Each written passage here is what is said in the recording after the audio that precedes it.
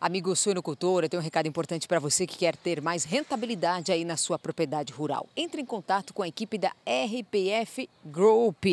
É isso mesmo, a RPF sabe e entende muito bem que te, quem cria suínos precisa ter um apoio técnico a qualquer hora do dia ou da noite. Essa é uma das razões que vem conquistando muitos suinocultores integrados da região. Ela tem uma equipe especializada no assunto que trabalha lado a lado de cada produtor para dar mais valor e reconhecimento ao seu trabalho. Além disso, a RPF fornece ração, medicamentos, materiais de higiene e limpeza e sêmen da mais alta qualidade genética. Seja um integrado da RPF e trabalhe com quem tem qualidade e tradição no mercado RPF Group e Agro é nutrição. Você já acompanha durante todo o domingo aqui no Tarobá Rural a gente falar das dificuldades que os produtores rurais têm encontrado nesse ano por conta da estiagem. Muita gente já plantou milho, né? Aliás, as lavouras estão bonitas pra caramba, né? Só que aquele que ainda está com soja vai colher. E aí vem a preocupação. Planta milho agora, arrisca ainda mais, porque essa segunda safra tem esses riscos. E tem previsão aí de uma nova estiagem e também de geada de forma cedo esse ano. A gente também já falou isso aqui no programa. Aí a cabeça do produtor pode ser, poxa, mas o que eu faço então? Nós vamos trazer agora uma opção para você bastante interessante, que é o trigo. Tem aquele produtor que gosta e todo ano já investe no trigo, outros não comece a pensar que essa pode ser uma alternativa interessante para você nesse ano de 2022. Eu vou conversar com o Bruno, que entende muito do assunto de trigo. E, Bruno, vocês têm visto isso a campo? O produtor rural já pensando nessa migração, né? Aquele que ainda não plantava trigo, vem com essa expectativa de plantar trigo esse ano também como essa alternativa. E, aliás, é uma alternativa muito boa, né? Sim, esse ano, mais do que nunca, a cultura de inverno se torna estratégica para o produtor pois a gente passou por um clima adverso na cultura de verão e isso fez com que a soja não chegasse nos patamares de rendimento que ele queria. Então agora essa propriedade tem que gerar receita no inverno e o trigo é uma cultura que entrega rentabilidade ok para o produtor e ele consiga fazer dinheiro num período de inverno, né?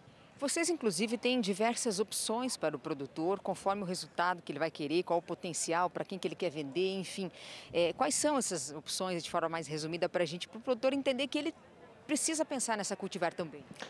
Nesses momentos em que a gente encontra o produtor, a gente utiliza muito isso de ouvir para entender a necessidade e trazer uma solução na sequência. Nós estamos trazendo um produto que tem alguns pilares que diferenciam, mas é segurança em doenças de espiga, é manutenção de pH, o produtor todo ano em uma ou outra região tem a coincidência de chuva em pré-colheita.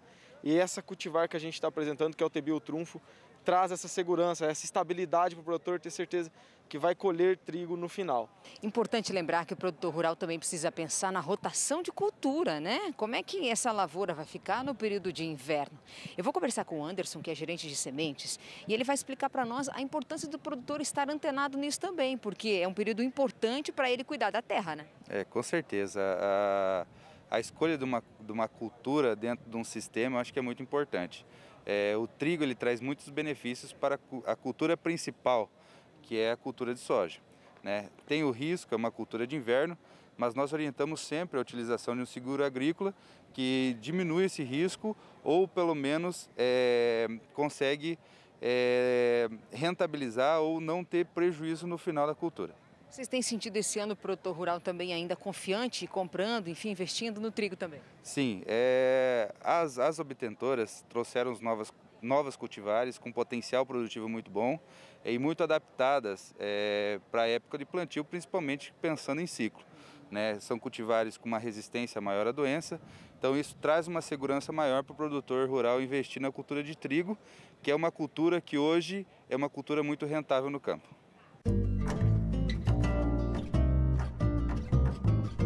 Previsão do tempo de muita instabilidade durante esta semana. Pode ter pancadas de chuva isoladas a qualquer hora do dia em boa parte do estado. Veja aqui para Cascavel, hoje a temperatura mínima deve ser de 20 graus e a máxima de 31. Amanhã, máxima de 32. Na região de Palotina faz mais calor. Hoje, máxima de 34, amanhã de 35. Na região de Francisco Beltrão, 32 de máxima hoje, 33 amanhã, também com possibilidade de pancadas de chuva. Na região centro-sul do estado, em Guarapuava, hoje mínima de 16, máxima de 30. Amanhã, segunda, pode chover também a qualquer hora do dia, mínima de 17 e máxima de 31 graus. Fez maior sucesso no show rural esse aqui que é o barracão do artesanato. quanta coisa legal que tem aqui. Se você não visitou, não vai visitar mais, porque acabou.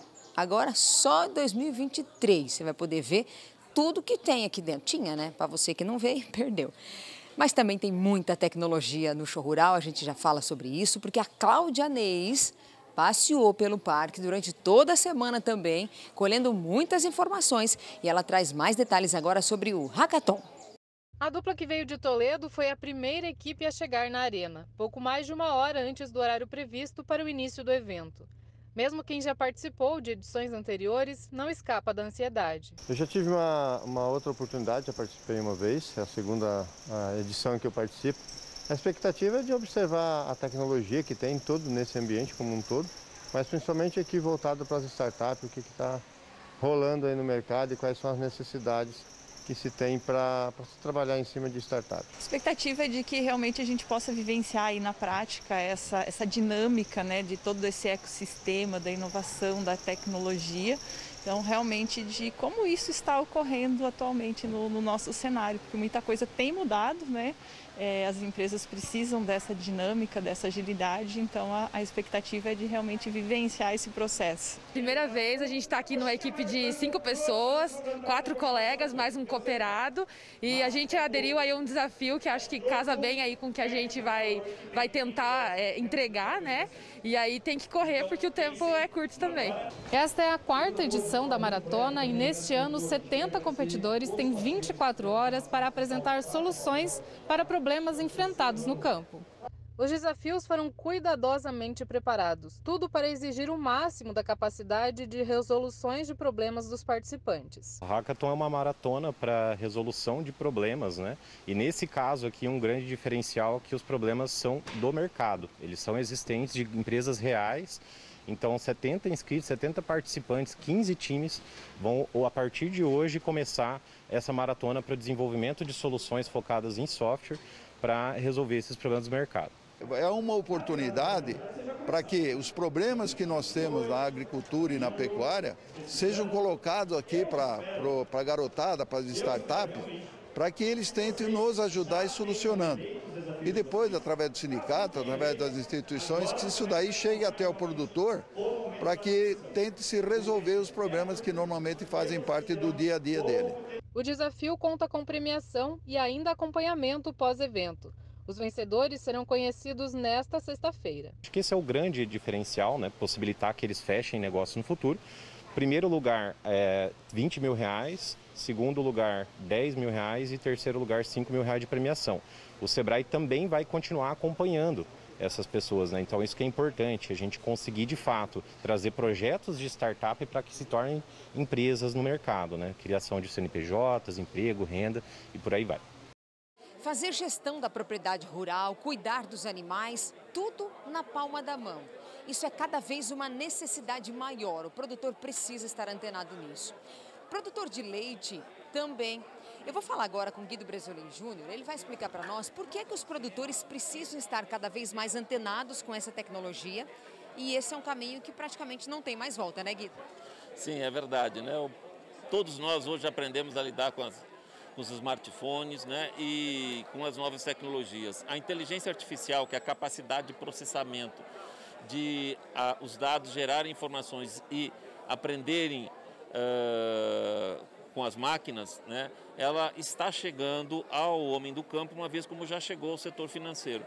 Por isso, nós fizemos uma parceria com a Sob Controle, que é uma empresa de desenvolvimento de softwares, que vai levar essa possibilidade de os dados da produção de leite, os dados dos animais, né, os dados dos estoques da propriedade rural de ração serem colocados uh, nos smartphones e com isso nós termos em todo, uma visão de todo o processo de produção de leite e termos mais garantias na hora de fazer uh, um adiantamento do leite ao produtor.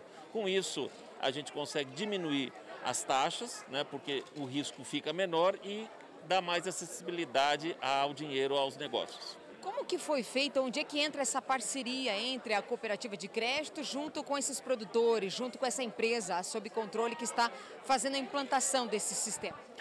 Uh, na verdade, a cooperativa entra uh, com os recursos e a, e a disponibilidade de estar adequando as ferramentas de gestão dos nossos gerentes a, aos controles que a Sob Controle implanta na propriedade. Então a Sob Controle tem a isotecnistas, médicos veterinários, pecuaristas que vão até a propriedade, falam a língua do produtor, explicam como digitalizar as informações já no seu smartphone Uh, e com isso, essas informações já vão diretamente ao laticínio parceiro, aí a gente sempre chama um, um associado que é o, o laticínio, né? Uh, e esse laticínio já transmite essas informações instantaneamente à cooperativa. Então, de modo que nós temos lá na cooperativa, na mesa do nosso gerente, do nosso gestor, o que está acontecendo uh, em tempo real, né? ou seja, no mesmo tempo na propriedade, o nosso gerente já sabe. Com isso, ele consegue orientar, orientar o produtor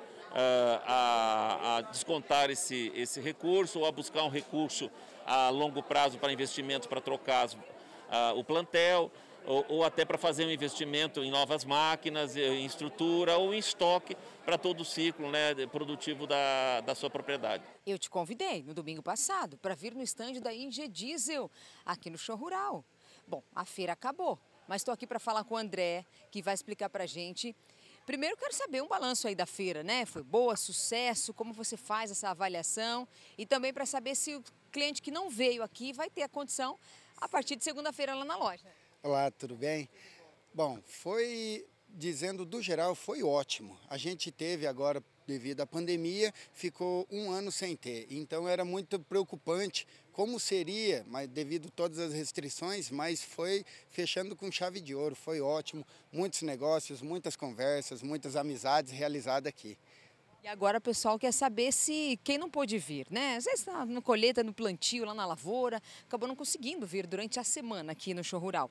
Pode passar na Engie que eu tô achando que vocês ainda vão segurar os preços aí daqui, as promoções para mais uns dias, né? Não, com certeza. A gente sabe que muitos estavam em época de trabalho agora. Então fica o convite, quem tiver disponibilidade, passa lá na empresa, a gente vai estender todas as promoções que a gente trouxe para o show rural, vamos estender nesse mês agora, é, desde questão de manutenção, remapeamento, filtro, tudo o que a gente tem a fornecer, a gente está com condições e preços especiais. Reforça o endereço? É Rua Francisco Inácio Fernandes, 149, no Trevo Cataratas. Bem coladinho ali no Trevo, é bem fácil de você achar.